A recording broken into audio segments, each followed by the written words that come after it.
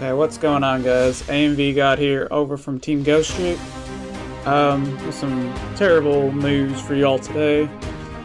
As you may have seen, my original account, AMV God, has been deleted thanks to YouTube, and I'll put the email on the screen now.